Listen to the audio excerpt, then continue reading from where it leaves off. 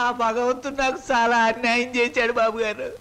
నేను తాగినా తందనాలన్నా పేడల్లా చూసుకునే నా చెల్లి బాబా ఒక్కసారే బలైపోవడం నా దురదృష్టం. బాధపడకు నాగయ్య.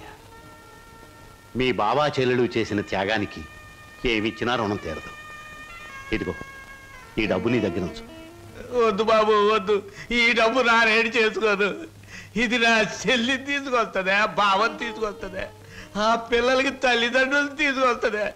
వద్దు బాబు వద్దు. కాదనకు నాగయ్య. నా మనశ్శాంతి కోసమైనా తీసుకో. ఇక నుంచి ఆ పిల్లలకి తల్లి అయినా తండ్రి అయినా నువ్వే. వాళ్ళని జాగ్రత్తగా పెంచి పెద్ద చేయి. బాగా చదివించు. వాళ్ళకయ్యే ప్రతి పైసా నేనిస్తాను. నీకెప్పుడు ఏ అవసరమైనా నా దగ్గర రా. కింద ఈ డబ్బుంచు. వాళ్ళ బాధ నాకు దిగిపోతే చాలరా. ఆ? నాకు ఈ కమతాలు గవతాలు నచ్చవు. వాళ్ళ కూలిస్తావో కూడెట్టకుండా మాడి చంపుతావో నీ ఇష్టం. నెల నెల నీ కాడికి వచ్చి కూలి డబ్బులు వసూలు చేసుకోవడానికి నాకు వడ్డీ కూడా గిట్టుబాటు కాదు. మొత్తానికి ఇంత రేటుని కట్టేసి నాకు ఇచ్చి వాళ్ళిద్దరిని తోలిపో అంటే వాళ్ళు పూర్తిగా అమ్మకానికి ఎట్టేసినట్టేనా ఆ, నువ్వు సచ్చినంత తొట్టు. అయితే సరే మొత్తం నాలుగేలు. ఆ, అందాక ఉంచు పొద్దున్నే వచ్చినప్పుడు మిగతాది ఇచ్చి వాళ్ళిద్దరిని ఎట్టుకెళ్ళిపోతాను.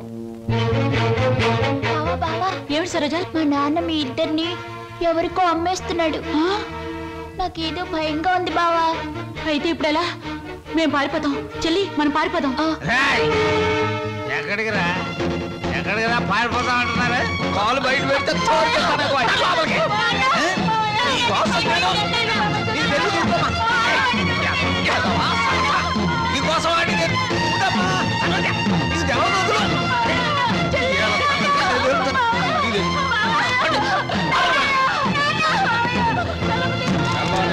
కూడు నీళ్ళు లేక మాడి సావండి ఈ వీడియో మీకు నచ్చినట్లయితే లైక్ చేయండి షేర్ చేయండి. ఇలాంటి మరిన్ని సరికొత్త సినిమా వీడియోల కోసం ఛానల్ని సబ్స్క్రైబ్ చేయండి. అలాగే ఇక్కడ ఉండే ఈ గంట సింబల్ని క్లిక్ చేయండి. మేము అప్డేట్ చేసే ప్రతి వీడియో నోటిఫికేషన్స్ మీకు వచ్చేస్తాయి.